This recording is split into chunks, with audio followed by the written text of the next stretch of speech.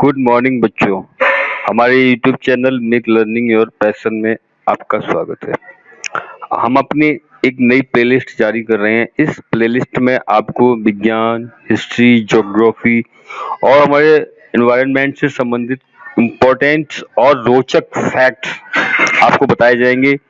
इसमें आपको नॉलेजफुल जानकारी दी जाएगी, जो आपके एग्ज़ाम के लिए भी अच्छी होगी और आपकी जानकारी के लिए भी। तो हम आपकी जिज्ञासा को शांत करने के लिए एक नई प्लेलिस्ट लेके आ रहे हैं। तो हमारे वीडियो को अवश्य देखें लाइक और शेयर भी करते रहिए। बहुत बहुत धन्यवाद। चित्र में आप देख रहे हैं, दांडी यात्रा से गांधी ने साबित किया कि वे सिर्फ़ हिंदुओं के ही नेता नहीं हैं, बल्कि गरीब, पिछड़े और हर दबे हुए वर्ग के नेता हैं और इसलिए उन्होंने नमक सत्याग्रह या दांडी यात्रा प्रारंभ की थी, जिससे कि हम आम आदमी को फ़ायदा मिल सके और अंग्रेज़ों के खिलाफ एक जन संघर्ष तैयार हो सके। चित्र में आप देख रहे हैं, ये लिखा हुआ है, शीर्षक है आज़ादी का मोल। ये आज़ादी जो हम आज सांस ले रहे हैं, ये आज़ादी हमें इतनी आसानी से नहीं मिली, इसके लिए हमें हज़ारों सैकड़ों लोगों की कुर्बानियाँ देनी पड़ी हैं, तब जाके आज हम खुली हवा में सांस ले पा रहे हैं। तो आज हम इसी पर चर्चा करते हैं। आज का हमारा जो स्पेशल फैक्ट्स है, वो है डांडी मार्च या नमक सत्याग्रह। इस वीडियो में हम आपको डांडी मार्च की संपूर्ण जानकारी देंगे। यहाँ पर आप चित्र देख रहे हैं, ये हमारे राष्ट्रपिता महात्मा गांधी की तस्वीर है। हाथ में लाठी, तन पर एक मैला सा वस्त्र और साथ में यहाँ पर उनके सहयोगियों की, सत्याग्रहियों की भीड़ सी लगी हुई है। अपने अठहत्तर अनुयायियों के साथ गांधी जी ने 12 मार्च के दिन 1930 12 मार्च 1930 को नमक कानून के खिलाफ खड़े होने के लिए एक आवाज़ दी। 12 मार्च 1930 को सभी को जनसंघ जन समूह को एकत्रित करके 13 मार्च से लेकर के 6 अप्रैल तक चले इस संघर्ष में गांधी जी को आप देख रहे हैं। उन्होंने क्या किया? 1930 में महात्मा गांधी ने ब्रिटिश सरकार के नमक कर के खिलाफ साबरमती आश्रम के अरब सागर तट के किनारे बसे गाँव दांडी के लिए 24 दिन की ऐतिहासिक मार्च का नेतृत्व किया था। दांडी मार्च की शुरुआत मात्र अठहत्तर सत्याग्रहियों से हुई थी। यहाँ पर एक आप मैप देख रहे हैं। मैप में आप देख सकते हैं गुजरात के।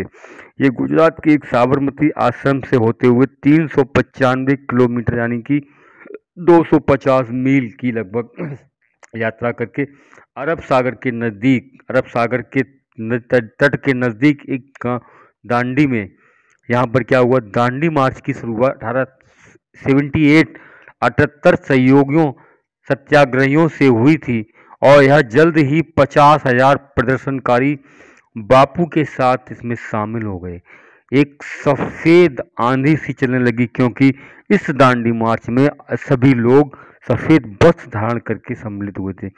इस मार्च में हर उम्र और क्षेत्रों से आए लोग शामिल हो गए थे। सोलह साल के विठल लीलाधर। सोलह साल के विठल लीलाधर ठक्कर सबसे कम उम्र के सत्याग्रही थे। इसे सफ़ेद बहती नदी कहा गया।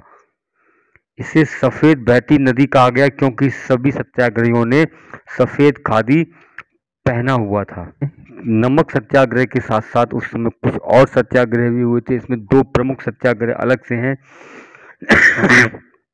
एक है वेदरण्यम वेदरण्यम मार्च। वेदरण्यम मार्च में क्या था?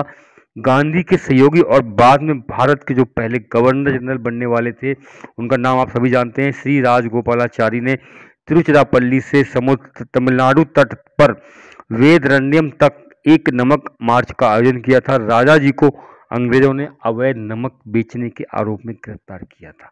ये तो था दूसरा वेदरण्यम मार्च, इसको भी नमक सत्याग्रह कहते हैं। और ये तीसरा भी आपको बताते हैं, धरसना मार्च। देखिए पाँच मई को गांधी जी की गिरफ्तारी के बाद सरोजनी नायडू ने गुजरात के धरसना में मार्च का नेतृत्व किया। इसमें कई सत्याग्रहियों को पुलिस ने पीटा और सरोजनी नायडू को गिरफ़्तार कर लिया गया। नमक कर का कारण क्या था? देखिए, अंग्रेज़ों की एक मोनोपोली थी, जिसमें आपको भारतीय विदेशी सामानों पर भारी टैक्स लगाना और नमक एक जन सामान्य की एक महत्वपूर्ण आवश्यकता होती है बिना नमक के। जन सामान्य नमक की तो हर व्यक्ति को आवश्यकता होती है। इन्होंने इस पर भी एक टैक्स लगा दिया। इसके विरोध में गांधी जी ने क्या किया? लॉर्ड इरविन, तत्कालीन वैसे लॉर्ड इरविन को पत्र लिखा और इसके बारे में विरोध जताया। उन्होंने इस बात पर इनकार किया तो गांधी ने कहा, नहीं, मैं इसके लिए विरोध करूँगा और इसके साथ में ब्रिटिश साम्राज्य की नींव हिला रहा हूँ। उन्होंने क्या किया? 6 अप्रैल को अरब सागर पर पहुँचने पर बापू ने अवैध नमक बनाकर नमक कानून तोड़ा और सभी सत्याग्रहियों ने भी यही किया और अवैध नमक को खरीदा और अंग्रेज़ों के नमक कानून को दता बताते हुए सब लोगों ने सत्याग्रह की राह पर चलते हुए दांडी मार्च किया और नमक बना करके नमक कानून को तोड़ दिया। एक प्रश्न आता है कि नमक सत्याग्रह कब और क्यों प्रारंभ किया गया? देखिए, नमक सत्याग्रह 12 मार्च 1930 को महात्मा गांधी ने नमक पर टैक्स लगाने के अंग्रेज़ों के फैसले के खिलाफ अहमदाबाद में साबरमती आश्रम में नमक सत्याग्रह की शुरुआत की। इसके तहत समुद्र के किनारे बसे एक गाँव दांडी तक 24 दिन की लंबी यात्रा की गई और यहाँ पहुंचकर गांधी जी के नेतृत्व में हज़ारों लोगों ने नमक कानून को तोड़ा। प्रश्न है कि छः अप्रैल 1930 को क्या हुआ था? सरोजनी नायडू भी दांडी यात्रा आंदोलन में शामिल हुई। दिन प्रतिदिन अधिक से अधिक लोग महात्मा गांधी के साथ जुड़ते गए। आखिरकार 5 अप्रैल 1930 को महात्मा गांधी और उनके अनुयायी 6 अप्रैल 1930 को दांडी पहुँचे। अनुयायियों के साथ महात्मा गांधी ने समुद्री जल से नमक उत्पन्न करके नमक कानून को तोड़ दिया। प्रश्न है, नमक कानून क्या था? अठारह सौ बयासी में बने भारतीय नमक कानून ने सरकार को पुनः एकाधिकार स्थापित करा दिया और 12 मार्च 1930 को उनासी अनुयायियों के साथ गांधी साबरमती से दांडी चले और 6 अप्रैल उन्नीस को नमक कानून तोड़ दिया और ब्रिटिश के शासन के अंत की घोषणा की।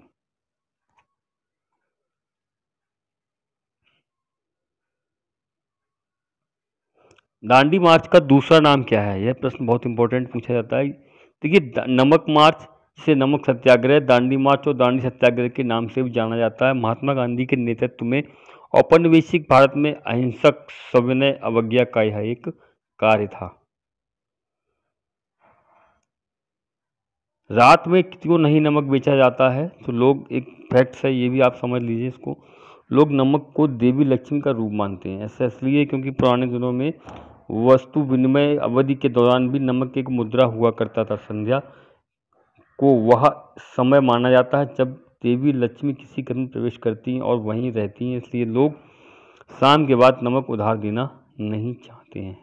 एक वैज्ञानिक प्रश्न भी हम आपसे पूछते हैं, दो दिन तक नमक नहीं खाने से क्या होता है? देखिए, नमक से होने वाली हानि, इसका नाम होता है हाइपोनेट्रीमिया।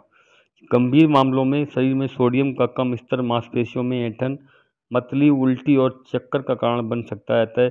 नमक की कमी से सदमा, कोमा और मृत हो सकती है। नमक की गंभीर हानि होने की संभावना बहुत कम है क्योंकि हमारे आहार में आवश्यकता से अधिक नमक होता है। तो वीडियो अच्छा लगे, चैनल को लाइक और सब्सक्राइब अवश्य करें। बहुत बहुत धन्यवाद।